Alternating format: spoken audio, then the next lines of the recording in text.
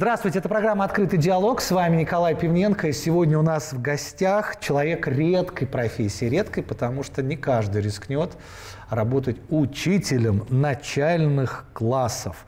К тому же Юлия Витальевна Фролова, которая гость нашей сегодняшней программы, она работает не просто учителем начальных классов, а еще и в кадетской школе городского округа Люберцы. Здравствуйте, Юлия Витальевна. Здравствуйте. Ну, вы прекрасно понимаете, что октябрь месяц, месяц учительский, когда даже выпускники самых-самых первых лет вдруг вспоминают, что когда-то у них была учительница. Потом, потом они вспоминают, что их было, может быть, несколько, кто-то, может быть, переезжал. Но все равно бывает первая учительница и потом все остальные. А у вас еще кадетская школа. Чем отличается кадетская школа от обычной? Это первый вопрос, чтобы сразу поставить все точки над «и». Ну, кадетская школа у нас с 2014 года мы статус получили. Mm-hmm. Конечно, а есть кадетские классы и обычные классы. Вот а, в этом году я учитель кадетского класса взяла. Там все в форме а ходят? Там все в форме ходят, да, да и девчонки, а, и мальчишки. А вы? Нет, я не в форме. Ну, у нас есть, конечно, дресс-код, но э, у учителей военной формы нет. А в чем отличие? А, прежде всего направленность, да, кадетская. Они дальше, когда идут в пятый класс, это, mm. конечно, больше сейчас пропедевтическая работа, но в mm. пятый класс а, у них появляется больше дисциплин, связанных с кадетством, а, военная подготовка а, вот, у, у старших классов. Да. Ну, такое военизированное направление. Да, военизированное направление. Сила, да, силовое, силовое, я бы силовое. так даже сказал. Ага. А, у них появляется дополнительно хор, они ходят заниматься, mm выступают, на какие-то сборы ездят, да, то есть вот связано с военным направлением. Да, Тогда, уже... чтобы эту тему нам все-таки доработать, mm-hmm. отличие кадетов э, начальных классов от обычных, скажем так, традиционных э, детишек? Ну, если мы берем начальную школу, угу. то, как правило, особого отличия нет. Программа у нас одинаковая, Тут да, только образовательная. Форма немножко... Только форма, да. Э, классы мальчишек много. Ага. Вот у меня, допустим, в классе 26 человек. Из них 19 мальчиков, но есть и 7 девочек смелых, которые решили, а, родители их отправили вот учиться в кадетский класс. Царицы да, будущие. Царицы будут, будущие. Да, царицы. Но вы знаете, некоторые приходят уже а, маленькие девочки в первый класс, класс, мы помню, когда готовили у нас были подготовишки mm-hmm. к школе, и она уже, вот ей было шесть с половиной лет, она мечтала, вы знаете, я хочу стать военной, как она говорила, да, mm-hmm. девчонка. И она э, пошла в кадетский класс. Конечно, там отбор, ну как, отбор, по, э, с ними говорят, куда бы, да, что бы ты хотел, как mm-hmm. ты хотел, да, и уже э, определяются приоритеты. Ну, конечно, многие мальчишки мечтают э, все-таки о военной службе, да. А они потом могут, если э, что-то поменяется в их желаниях э, не идти по не военной... Идти, конечно. Да. То есть конечно, там дальше право выбора за ребенком, вуз и да. так далее да. потом. Хорошо. Но я знавал некоторых женщин-генералов, и поверьте, а вот смотришь, как вокруг нее эти э, майоры-капитаны, она генерал, и это серьезно, это серьезно. серьезно. Так что по-разному бывает.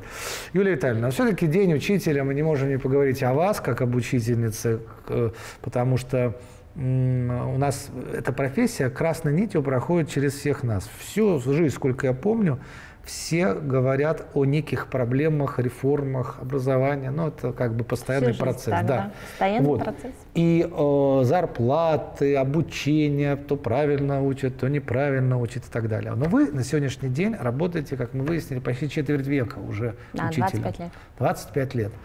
А, почему вы стали учителем? Случайно или мне многие задавали этот вопрос, и ученики, которые сейчас приходят ко мне, и когда-то уже давно-давно, то есть уже вышли, уже в институтах. А, в детстве, в раннем, угу. я, наверное, не мечтала об этом. Нет. Но лет в 12 я так. вдруг э, начала играть в школу. А, я представляла, что я объясняю уроки, и вот потом с этого момента так получилось, получилось потихонечку. Я поступила после 11 класса уже тогда угу. в педагогический колледж, 15 в Москве окончила его и а, уже получила свою специальность. Потом а, сразу мы сдавали экзамены, я пошла учиться дальше.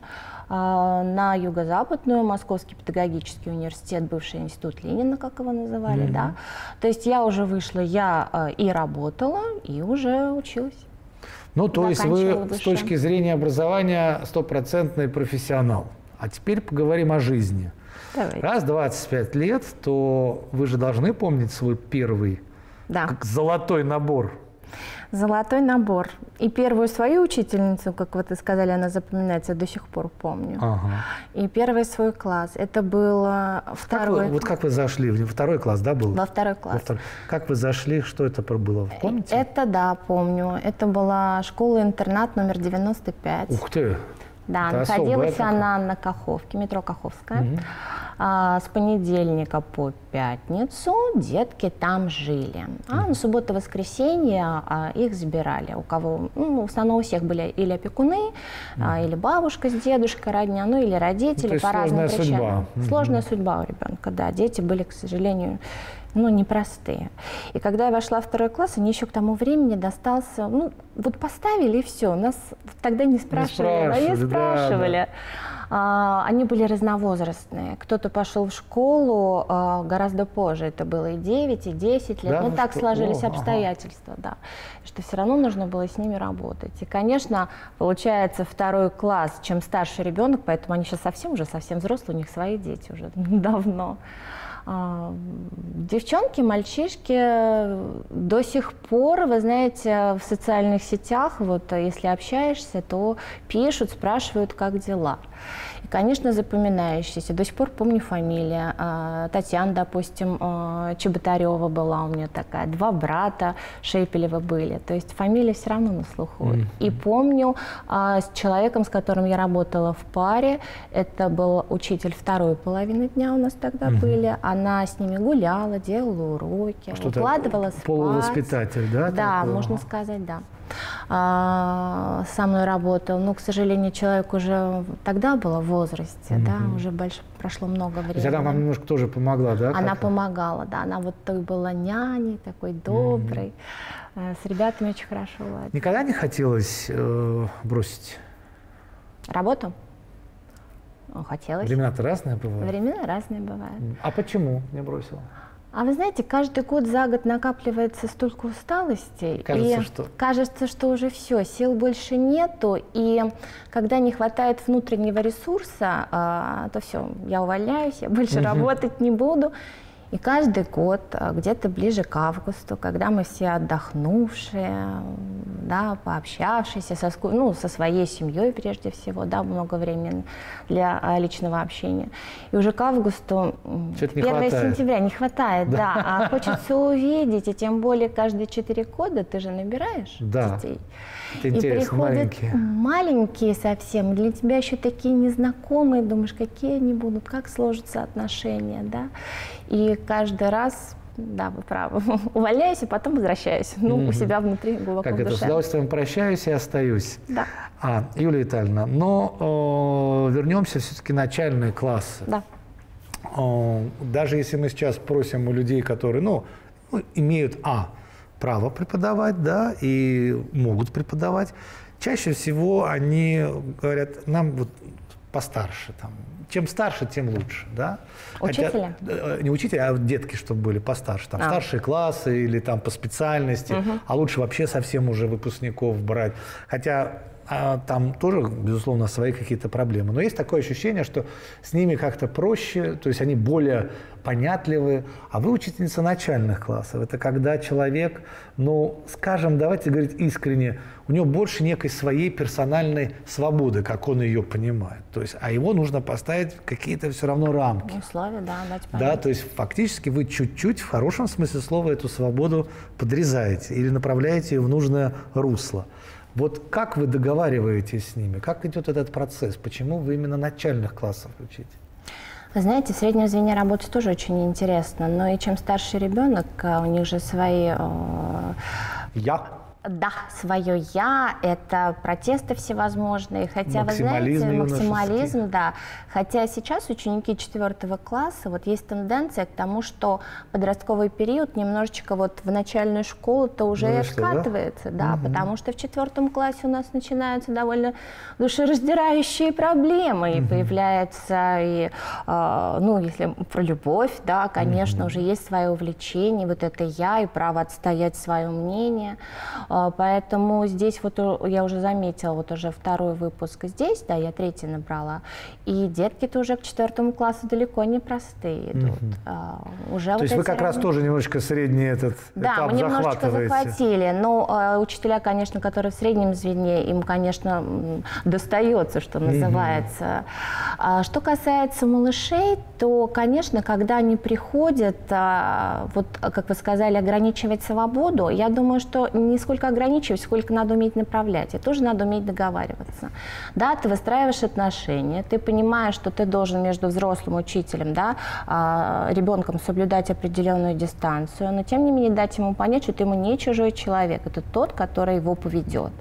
А для себя вот на протяжении первого, если развивать первый, второй, третий, четвертый класс, я разная. Угу. Первый класс это такая мама-наседка, которая угу. вот, чтобы они все были рядышком, а, помочь переодеться еще этот момент. Угу. А второй, а мы уже становимся более самостоятельными, но еще не забыть первый класс, и поэтому здесь а, с мамы-наседки мы переходим а, уже человек более который посоветоваться можно что-то уже, да, то есть появляется больше своего, да, взрослость, да. мнения. Третий класс – это уже уходим мы в самостоятельность, когда появляется уже, уже ты первые два за плечами, ну, мы большие, уж, да. да. И в третьем классе а, больше самостоятельности, у них есть возможность освоить что-то новое, то есть дать вот заинтересовать, уметь показать, а это только через личный опыт. Угу, угу. Естественно, если ты заинтересован, ты показываешь, что тебе это интересно, то можешь заразить в хорошем смысле слова своего ученика, так как происходило в четвертом классе, когда у нас окружающий мир, и там очень много историй, исторических моментов, тяжелый ведь такой достаточно ну, да, предмет, да. да? И Тем ты, более есть а, мир Конечно, сегодняшний. Да, и мир вчерашний, да. да, если так можно, есть что сравнить и показать. И поэтому ребенок, когда э, ты ему показываешь что-то интересно, ты рассказываешь ему какие-то, знаете, небольшие фрагменты. Ну, а, а вот посмотрите, а как мы... И появляется дискуссия уже такая возникает. mm И многие после этого, уходя в пятый класс, а мне так история нравится, говорят мне, а биология как? Так я для этого и работала, чтобы заинтересовать, и была преемственность, когда они уйдут уже в пятый класс и учителям, но мы все равно делаем такую, э, хочется их отдать и уже чуть подготовить, чтобы они сами не боялись, потому что они, конечно, еще... Ну... А есть элемент этого расставания? Или с их стороны же иногда бывает, хух, слава богу, мы законе в том смысле, что там учитель плохой, же, а мы взрослыми станем, мы идем уже в пятый, там, шестой, седьмой. А, есть элемент расставания? Элемент расставания есть, когда, а, ну, вы знаете, в моем случае, и, как правило, они же потом приходят все в гости. Угу. Вот у меня сначала приходит девятый класс, потом идет первый, то есть первый выпуск в этой школе, потом пятый сюда же заходит, и эти малыши стоят, они смотрят, они ничего понять не могут. Что так много народу, что такие все большие приходят. Угу. А, расставание, конечно, первый грустный момент, что уже буду не я с ними, а много других учителей. Угу. Это мы все поплакали, все, конечно, ну, да, да. эмоцию включили включили. А, но с точки зрения расставания, что они никогда не могут, если только они переедут куда. И ну, то да, звонят, да. пишут, а эти приходят постоянно. Поэтому если что-то не получается, они даже совет спрашивают. Ну, сделаем небольшую паузу. Как перемена должна перемена. быть, да, прозвучать звонок, тем более, что мы же в начальных классах, поэтому маленькое у нас должно быть занятие. После чего продолжим. У нас в студии Юлия Витальевна Фролова, учитель начальных классов Кадетской школы городского округа Люберцы. Напомню, что это программа «Открытый диалог». У нас в гостях Юлия Витальевна Фролова, учитель начальных классов кадетской школы городского округа Люберцы. А, Юлия Витальевна, а какие сейчас предметы входят? Потому у нас же все меняется в этой жизни, да? Как, что именно в начальных классах Какие предметы вы преподаете? В начальных школах у нас ходит русский язык, угу. литературное чтение, окружающий мир, математика, технология. Это то, что учитель угу. ведет один, да. Технологии – это бывшие уроки труда, но, да, знаете, да. имея… А, как Название красивое. Да. Нет, но есть очень много возможностей сделать урок интересным по технологии. Конечно, да, Сейчас да. очень много видеоресурсов есть, пожалуйста. Ну, у станков стояли, я помню. Вы знаете, мальчишкам в старших классах этого не хватает, им очень нравится. По крайней мере, у меня сын пришел, мама, мы табуретку научились делать, счастья не было предела.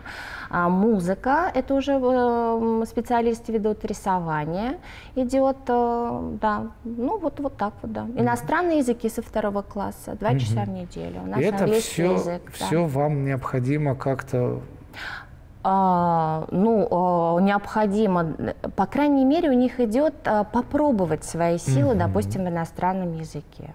А русский, математика, чтение – это база, это всегда так было, окружающий мир. А в четвертом классе добавляется предмет а, основа светской этики, да, он может быть… Ну, поэтому да, в четвертом да, классе уже, да. как вы говорите, начинаются первые такие отзвуки будущей взрослой жизни. Да. А скажите, Например. оценивание, потому что вот э, я всегда с учителями, когда беседую, ну мы же все были школьниками, да. Все хотели учиться на отлично? Не, я не к тому. Я не знаю, все ли хотели учиться на отлично. У некоторых это автоматически получалось. Кто-то хотел, кто-то не хотел. И несмотря на это, потом на, на другом этапе своей жизни, да, взялся за ум и все хорошо, замечательно. Но тем не менее, вот вы как оцениваете? Ну, есть же правила, по-моему, э, учителя по заорганизованности вот этой вот бюрократической составляющей, ну, может быть, чуть-чуть от врачей отличаются. Но, тем не менее, оценивать же надо как-то э, детей. А, опять же, взрослого там, наверное, попроще оценить. Сделал, сделал, не сделал, не сделал. А здесь как вы оцениваете? Оценки Вы ставите? Знаете, а у нас в кадетской школе работают а, вот в начальной школе, да и в старшие учителя, которые вот своим индивидуальным подходом, да, вы правы, есть определенная система, конечно, мы ее придерживаемся.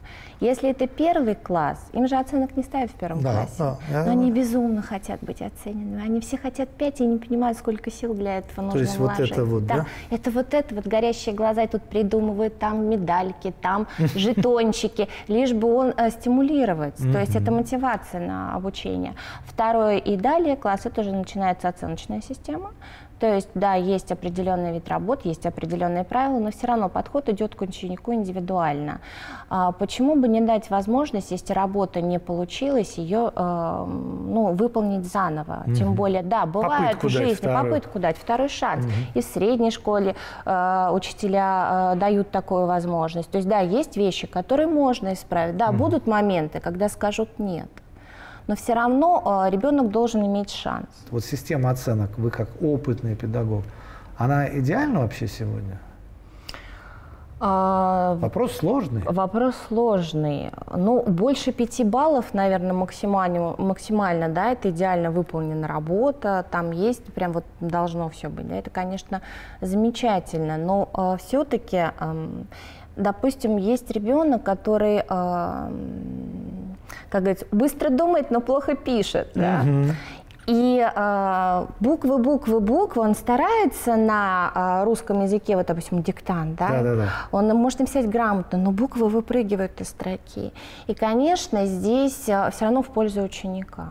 Ага, то есть... В пользу ученика, в пользу ребенка. Все правильно.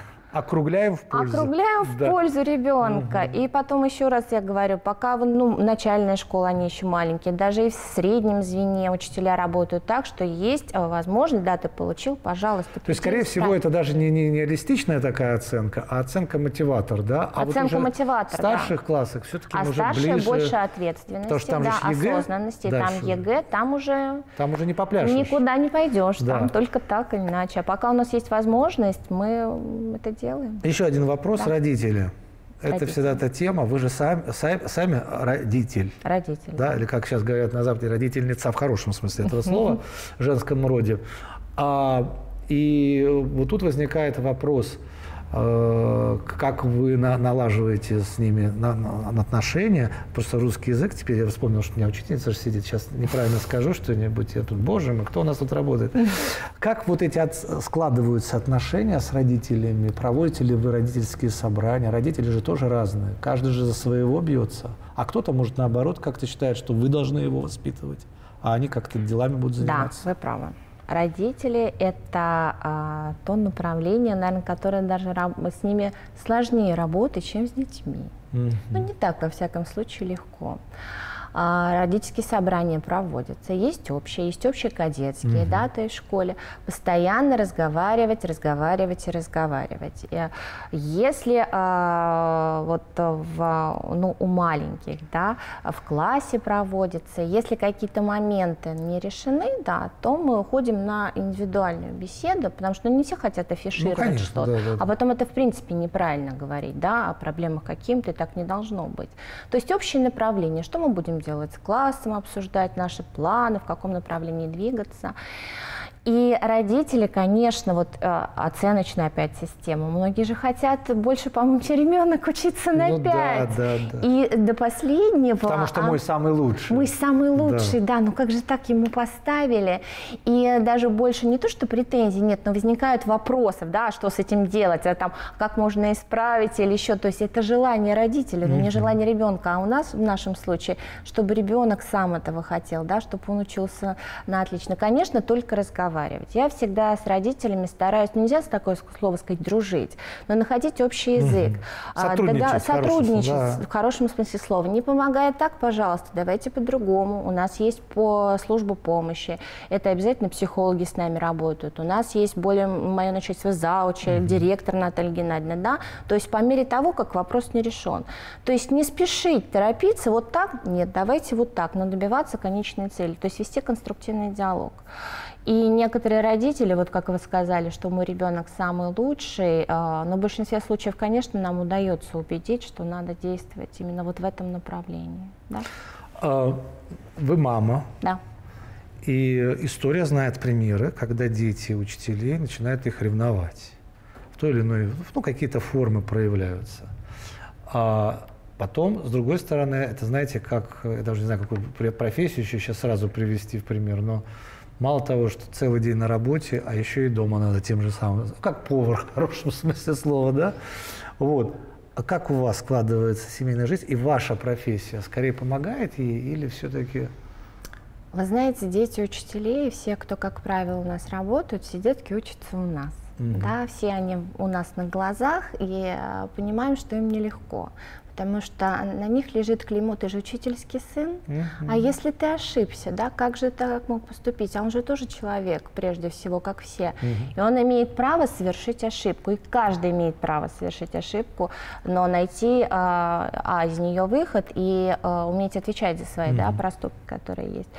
А ревнует, а, когда был маленький, еще учился, да, конечно, ревновал, безусловно. А почему ты не взяла меня к себе в класс учиться, например, mm. да? А почему? А вы не взяли, да? Я его не взяла, нет. Но я понимаю, что я ну, его, а, я считаю, что нет, адекватно оценить я его, это все равно мое дитя, да. Поэтому нет. И он учился у Потом он это понял, кстати? Он это понял, да, у параллельного учителя замечательного, да. Но все равно под контролем. Под контролем. Да. Я, по крайней мере, знала, что он здесь, да, однозначно. Когда стал старше, ему нравится, он взрослеет, он сейчас, я говорю, уже пятый класс, и вот они такие уже думают, что они так все много знают, mm-hmm. такие подростки. То есть они думают, что мы уже не знаем. Мы да? уже не знаем, но а, ты что-то же да. ничего, да. И достаточно непросто в этом отношении. Mm-hmm. Ревности уже нет, уже все это прошло, но для... изначально было, да. И детям учителей, да. Mm-hmm. Вот такая у них, к сожалению. Ну, раз мы так... А дома все то же самое. Дома все то же самое, да. А такой вопрос уже, раз мы так искренне общаемся. А, у учителей ну, есть какие-то прозвища, я же не говорю слово клички, но слово прозвище очень часто учителей называют по отчеству, да, или там какие-то ну, формы от каких-то вещей. Вы можете не называть, но вы знаете, есть у вас какое-то прозвище или как-то не сложилось? Вы знаете, мне кажется, нет. По крайней мере, я ни разу не слышала, мне никто не Ну, как-то они должны вас называть в форме. Ну, как вы там? Юлия Витальевна. Да. Но если только, может быть, как-то просто по имени сквозь э, да, что-то есть. Ну, знаете, есть историчка. Вот мне кажется, когда историчка говорят, то, то это уже как-то обидно, когда обезличено. Я помню, что мы преподаватели называли по физкультуре всех почему-то по отчеству, вот как сейчас помню. Саныч у нас был там. Вот да, забавно, да? Забавно, Почему я задаю этот вопрос? Э, потому что, на мой взгляд, это тоже такой элемент проявления отношения к учителю. То есть если учитель ну, является ну, близким человеком, близкий человек, это даже не обязательно, что он прям со всеми всегда ну, по да, да? То есть близкий – это как такой член семьи твоей вот на данном этапе. Тогда и соответствующие и э, идут, э, скажем так, обратная связь, как сегодня говорят, да, психологи к человеку приходят. Ну, значит, это хорошо. Вы имеете в виду кличка, да? Она как кличка прозвище, да? да. Зависит от если отношения она, к учителю. Если да. она отрицать, ну, отрицательного характера, да. то мы можем сделать вывод, что э, при, том, при том, что дети всегда для нас же кажутся, что мы чуть-чуть умнее, чем они, правда? Mm -hmm. Вот, но если взять все-таки это последний вопрос, потому что урок наш заканчивается. Кстати, ваш урок по отношению к нам, а мы погрузились в начальные классы, давно это было. Э, ведь каждый человек – это личность. Да. Многие всегда путают, особенно люди, не связанные с педагогикой, э, и не связанные, кстати, будучи даже родителями ни одного, а даже нескольких детей, они считают, что они хозяева их жизни, что не надо, надо учить только вот и заставлять делать как ты.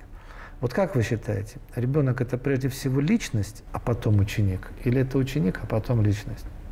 Прежде всего, мы каждой личности. И вот если взрослый поймет, а это тяжело сделать, в силу определенных обстоятельств, может быть, складывается воспитание, какое было в семье, но ты понять, что ребенок это не личная твоя собственность, и он имеет право идти по своей судьбе. Угу.